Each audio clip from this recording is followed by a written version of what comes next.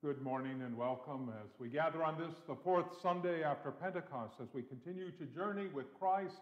Uh, last week, uh, thought about being sent out, often facing opposition, uh, but the call to go forth with the gift and promise of the gospel.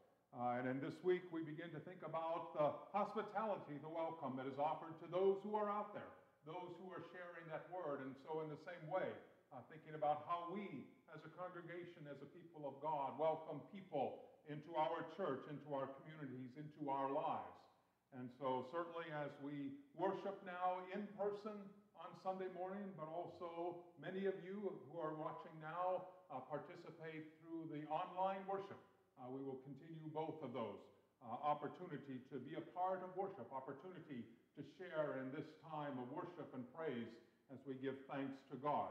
And so we invite all who gather uh, at home, those who will gather in person as we share together in this time of worship.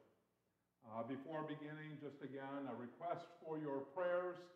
Uh, Arlene Carlson passed away unexpectedly this last week, uh, the wife of Mick Carlson, and her funeral service will be this coming Tuesday at the funeral home. And so we continue to lift up her family in our prayers this day.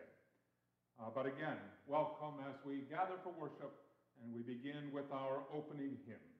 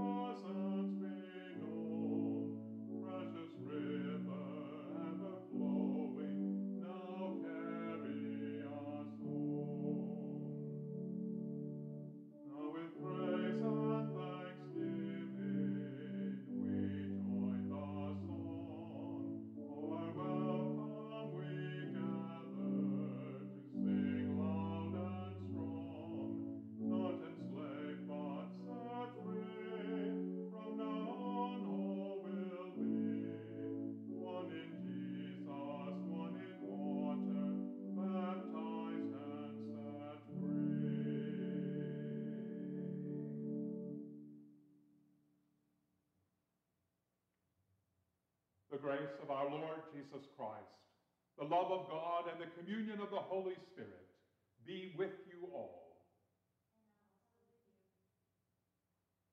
Blessed be the Holy Trinity, one God, whose steadfast love is everlasting, whose faithfulness endures from generation to generation. Amen. Trusting in the mercy of God, let us confess our sins.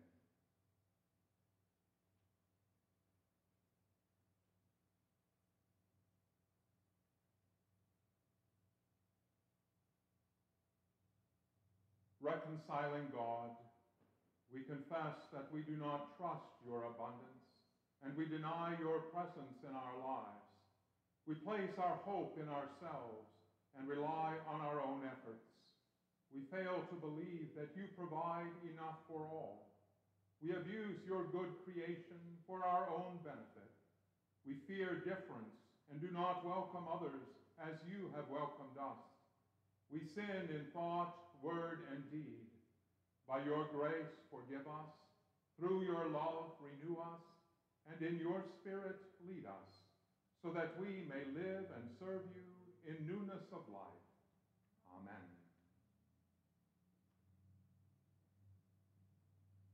Beloved of God, by the radical abundance of divine mercy, we have peace with God through Christ Jesus, through whom we have obtained grace upon grace.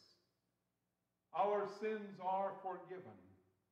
Let us live now in hope, for hope does not disappoint, because God's love has been poured into our hearts through the Holy Spirit. Amen. The Lord be with you. Let us pray.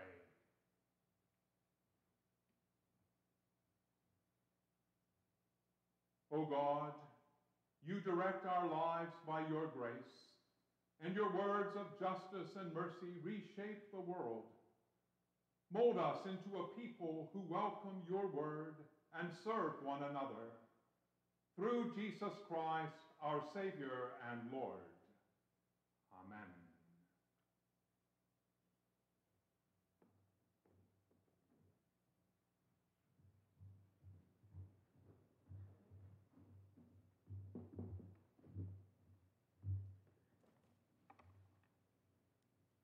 First reading is taken from the book of Jeremiah, the 28th chapter. The prophet Jeremiah spoke to the prophet Hananiah in the presence of the priests and all the people who were standing in the house of the Lord. And the prophet Jeremiah said, Amen. May the Lord do so. May the Lord fulfill the words that you have prophesied and bring back to this place from Babylon the vessels of the house of the Lord and all the exiles. But listen now to this word that I speak in your hearing and in the hearing of all the people. The prophets who preceded you and me from ancient times prophesied war, famine, and pestilence against many countries and great kingdoms. As for the prophet who prophesies peace, when the word of that prophet comes true, then it will be known that the Lord has truly sent the prophet. Word of God, word of life. Thanks be. We will now read Psalm 89 responsively.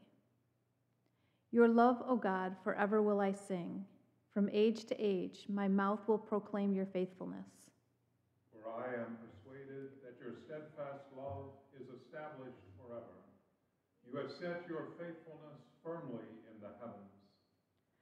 I have made a covenant with my chosen one. I have sworn an oath to David, my servant.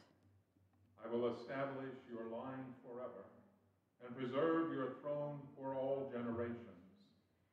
Happy are the people who know the festal shout. They walk, O Lord, in the light of your presence. They rejoice daily in your name. They are jubilant in your righteousness. For you are the glory of their strength, and by your favor our might is exalted. Truly, our shield belongs to the Lord, our King to the Holy One of Israel.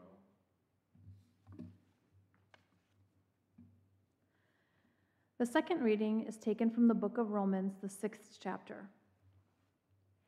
Do not let sin exercise dominion in your mortal bodies to make you obey their passions. No longer present your members to sin as instruments of wickedness, but present yourselves to God as those who have been brought from death to life, and present your members to God as instruments of righteousness. For sin will have no dominion over you since you are not under law, but under grace. What then? Should we sin because we are not under law, but under grace? By no means.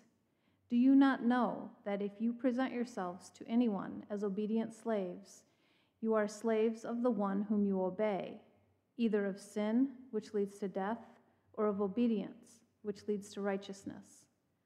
But thanks be to God that you, having once been slaves of sin, have become obedient from the heart to the form of teaching to which you were entrusted, and that you, having been set free from sin, have become slaves of righteousness. I am speaking in hu- human terms because of your natural limitations.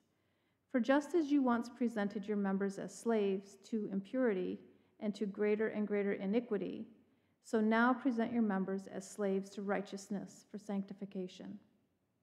When you were slaves of sin, you were free in regard to righteousness. So, what advantage did you then get from the things of which you are now ashamed? The end of those things is death. But now that you have been freed from sin and enslaved to God, the advantage you get is sanctification. The end is eternal life. For the wage, wages of sin is death, but the free gift of God is eternal life in Christ Jesus our Lord. Word of God, word of life. Thanks be to God.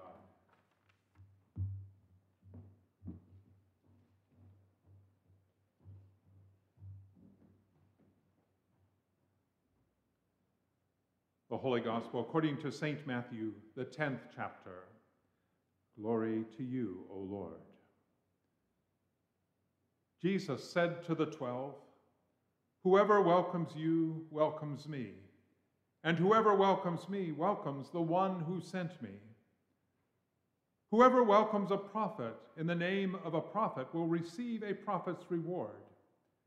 And whoever welcomes a righteous person in the name of a righteous person will receive the reward of the righteous.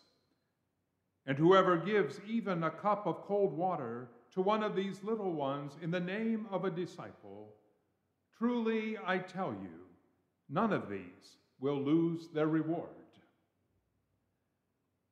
The Gospel of the Lord. Praise to you, O Christ.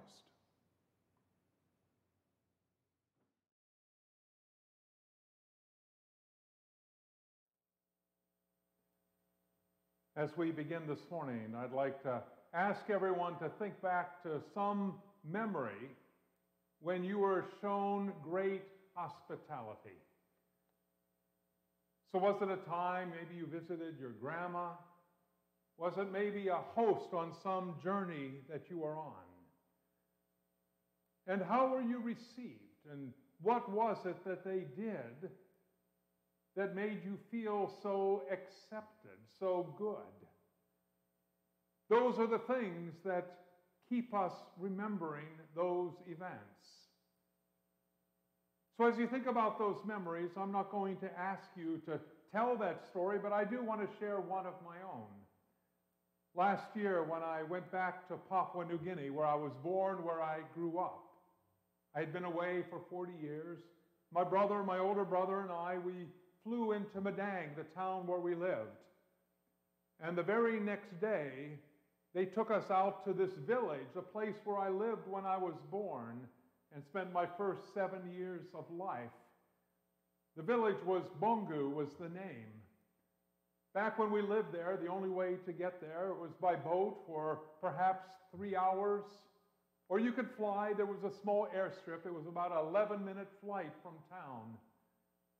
But now they have a road. Well, it's sort of a road. It's very bumpy, it's very rough. And there's at least a bridge over the biggest of the rivers, but there are at least five rivers that we had to drive through on the way there. Now, as we drove out, a number of villages along the way, it was amazing. There were kids there lined up to celebrate and to welcome our coming. What made it really amazing was we were probably two to three hours later than what we had said we would be. And yet the kids and villagers were still there waiting. In fact, we saw a number of people that we knew from when we were kids. But then finally arriving 21 miles down the coast to the village of Bongu, we got out of our car and I imagine the entire village was there. Lots of kids, all excited, watching us.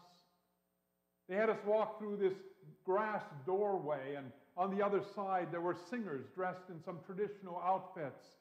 And they were playing their local drums, and they were singing as we walked down the path, as we headed up the road to where our house was. We arrived, they had a makeshift shelter built out there in the yard to protect us from the sun. And so we sat there and we visited, we introduced one another. And then they served us some food, some fresh tropical fruit. And then we had time to walk through the house where we grew up. Finally, we walked down a quarter of a mile to the, to the beach where we swam every day. And then into the village right along that ocean. Once in the village, we sat down and they brought a meal. But it wasn't a meal for everyone to eat, it was there for my brother and for myself. And as I prepared to take the lid off the food, I was kind of hesitant because in my mind I remembered how they would often serve food. They'd have potatoes and they'd have some meat. They didn't eat a lot of meat. But usually it was the whole animal. It wasn't just slices of meat. You'd open the lid and you'd see this face looking at you. And so I hesitated, but I took off the lid. There were, there were potatoes, different kinds, yams, kaukau, different things that they grew that we remembered. And then there were fish. And it wasn't just a fillet of fish, which I would typically eat, it was the entire fish the head, the eyes, the tail. And I kind of looked at my brother and I said, You know, I'm just going to eat the potatoes. I think I'm going to leave the fish be. He took some fish and I kind of passed it on. But when, then one of the villagers looked at me and he said, You know, we were thinking about you when you were a kid and when you lived here. And we remember how much you loved going fishing, so we assumed that you would want the fish to eat. And after that, I reached out and I took the fish and I ate it and I loved it. Hospitality. Welcome. It wasn't just the meal that they provided,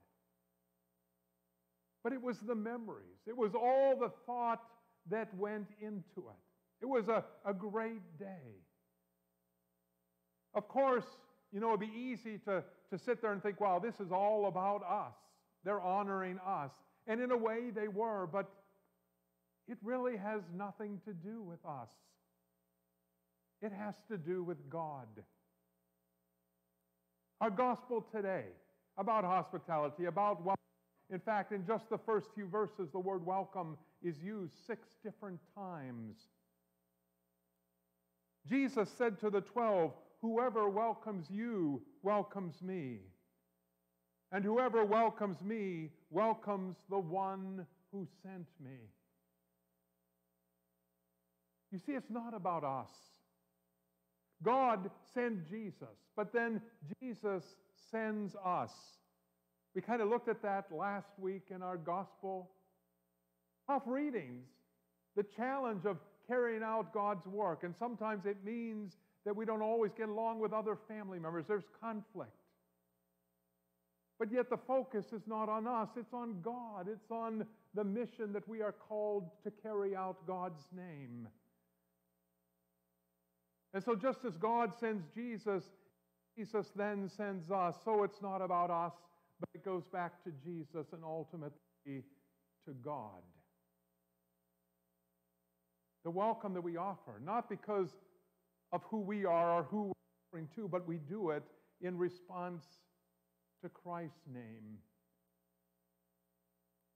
And to realize what we do, what we say, can sometimes have the greatest effect on people. I came across a story this last week that I wanted to share this morning. The author writes it in this way. He starts off, he says, I saw him in the church building for the first time on Wednesday. He was in his mid 70s with thinning silver hair and, and a neat brown suit. Many times in the past, I had invited him to come. Several other Christian friends had talked to him about the Lord and had tried to share the good news with him. He was well respected, honest, a man of good character. He acted much like a Christian would act. But he never came to church or professed Christ. After I got to know him well, and we had talked about a wide range of subjects, I asked him if he had ever been to a church service. He hesitated. Then, with a twisted grimace, told me of an experience he had as a boy. He was raised in a large family. His parents survived the Depression, but they struggled to provide food and clothing for the family. When he was around 10 years old, a friend invited him to go to church with his family. He went. The Sunday school class was great. The songs were fun to sing, and, and, the stories, oh, the great Bible stories, they were exciting to hear. He had never heard anyone read from the Bible before.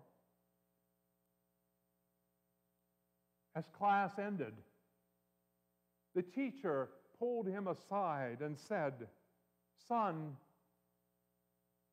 please don't come again dressed as you are now. We want to look our best when we come into God's house.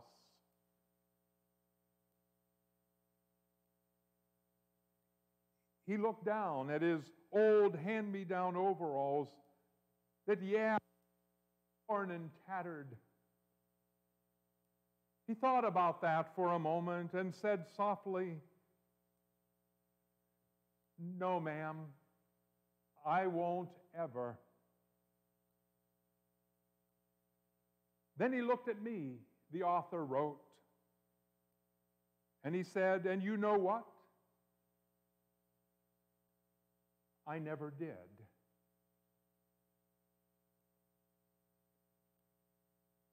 The author reflected on that. I am sure that the Sunday school teacher meant well, and in fact was probably representing the feeling of the majority of the folks in that church. But what if? What if she had put her arms around the dirty little boy in the ragged overalls and said, Son, I am thrilled you came here this morning. And I hope you will come every chance you get to hear more about Jesus because he loves you very much.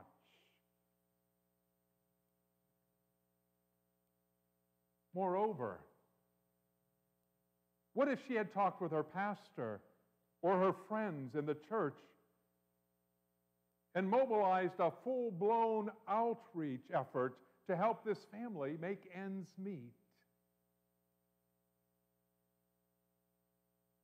What if that church would have thought,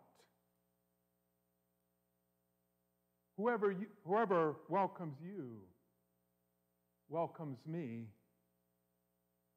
and whoever welcomes me welcomes the one who sent me? Or whoever gives even a cup of cold water to one of these little ones in the name of a disciple will receive a great reward.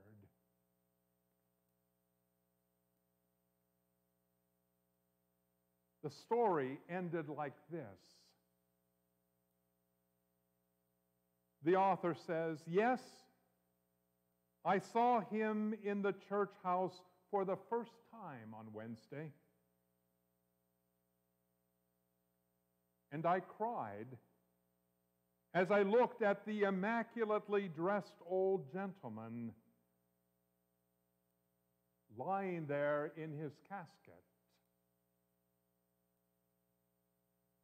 He was looking his best.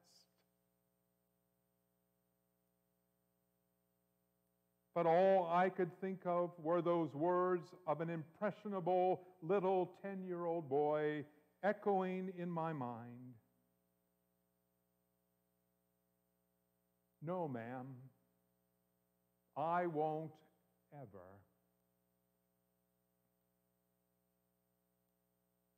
Hospitality, welcome. Not just what we say, but how we say it, what we do. It's not about us. It's about the God whom we serve and the God whom we share, even a cup of cold water.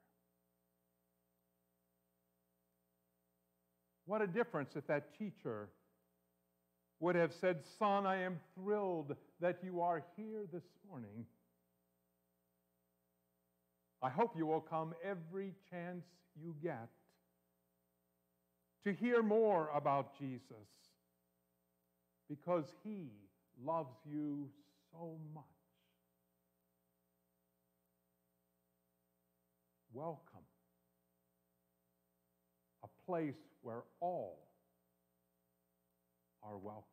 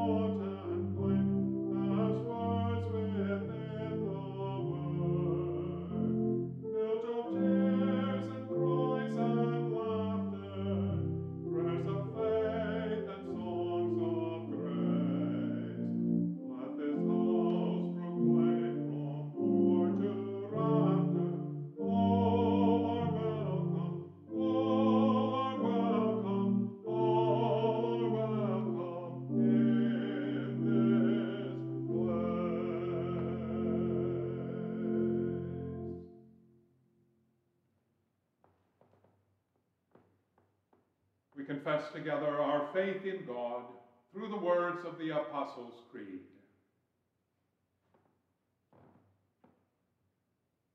I believe in God, the Father Almighty, creator of heaven and earth. I believe in Jesus Christ, his only Son, our Lord. He was conceived by the power of the Holy Spirit and born of the Virgin Mary. He suffered under Pontius Pilate, was crucified, died, and was buried. He descended into hell. On the third day he rose again. He ascended into heaven and is seated at the right hand of the Father.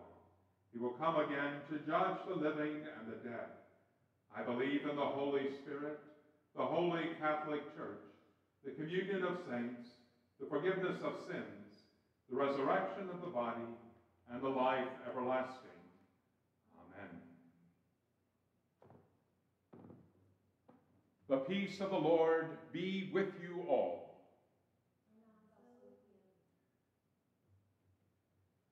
And as we come to the time of the offering, again, we think of giving thanks. Uh, we thank God for God's continued blessing in our lives. We respond to our own financial giving.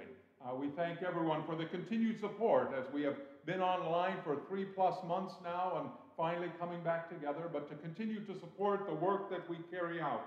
But yet knowing that giving is so much more. In fact, it is the giving of our very lives. And so we take a moment now as we think on the giving of ourselves.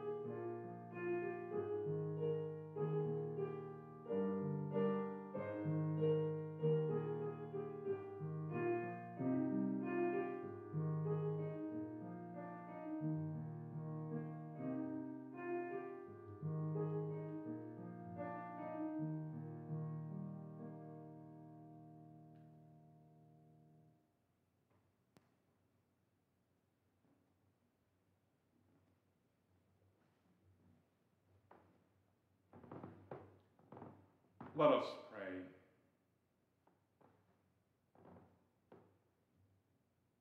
God of goodness and growth, all creation is yours, and your faithfulness is as firm as the heavens. Water and word, wine and bread, these are signs of your abundant grace.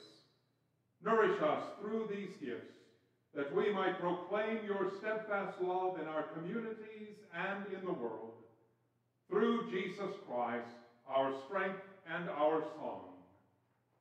Amen.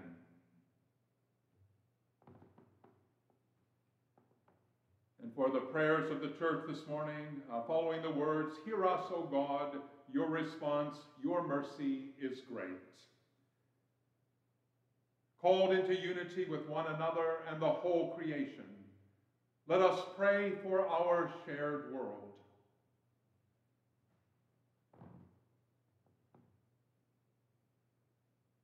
God of companionship, encourage our relationships with our siblings in Christ. Bless our conversations. shape our shared future, and give us hearts eager to join in a festal shout of praise. Hear us, O God. God of abundance, you make your creation thrive and grow to provide all that we need. Inspire us to care for our environment and be attuned to where the earth is crying out. Hear us, O God. God of mercy, your grace is poured out for all. Inspire authorities, judges, and politicians to act with compassion. Teach us to overcome fear with hope, meet hate with love, and welcome one another as we would welcome you. Hear us, O God. God of care, accompany all who are in deepest need. Comfort those who are sick, lonely, or abandoned. Pray this morning for families grieving the loss of a loved one, especially for the family of Arlene Carlson, for comfort and strength in your promise of life eternal. We pray for Linda Braley, who recovers from surgery. And we pray for health, healing, and peace for Lorraine, Jeff, Caitlin, Dr. Bob, Dell, Bud, and for those with cancer and those undergoing cancer treatment, Darlene, Pastor Matt, Jolene Rogel, Lynn, Denny, Phyllis, Connie, Ben,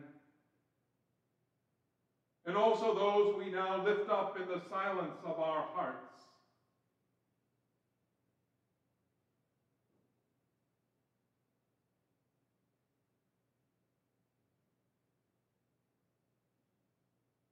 Strengthen those who are in prison or awaiting trial. Renew the spirits of all who call upon you. Hear us, O God. God of community, we give thanks for this congregation. Give us passion to embrace your mission and the vision to recognize where you are leading us. Teach us how to live more faithfully with each other. Hear us, O God. God of love, you gather in your embrace all who have died. Keep us steadfast in our faith and renew our trust in your promise. Hear us, O God. Receive these prayers, O God, and those too deep for words, through Jesus Christ our Lord. Amen. Our Father, who art in heaven, hallowed be thy name. Thy kingdom come Thy will be done, on earth as it is in heaven. Give us this day our daily bread, and forgive us our trespasses, as we forgive those who trespass against us. And lead us not into temptation, but deliver us from evil. For thine is the kingdom, and the power, and the glory, forever and ever. Amen.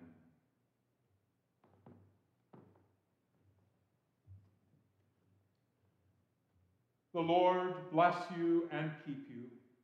The Lord's face shine on you with grace and mercy.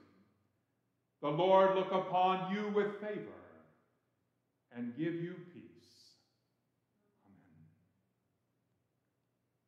peace.